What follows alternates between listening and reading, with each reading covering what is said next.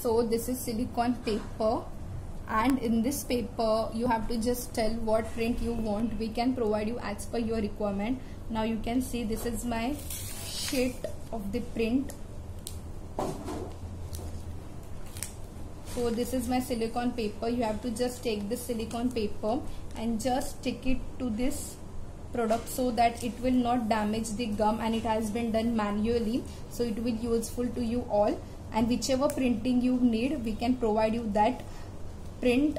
Once if you need this then just remove the silicone paper and just take this print and just stick it to your product whichever it may be bottle or any medicinal bottle or any edible oil bottle just stick it to the gum will be stay for a longer time. So it's silicone paper and this product code is s2 so i hope it will be useful to you all so i hope it will be useful to you all.